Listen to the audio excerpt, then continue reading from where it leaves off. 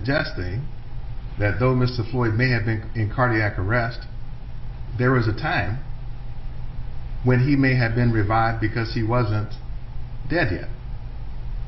Immediate medical attention for a person who's gone into cardiac arrest um, may, re- may well um, reverse that process, yes.